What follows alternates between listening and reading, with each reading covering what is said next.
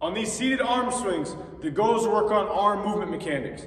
So your backhand should be in its holster or its back pocket, elbow in. Your front hand, index finger by the, temp the temple, elbow in. You don't have to touch your temple, but have it there next to your cheekbone. Okay, so we're gonna get into that position here, and we're gonna work on driving our arms, making sure our elbows aren't moving, and we're nice and smooth.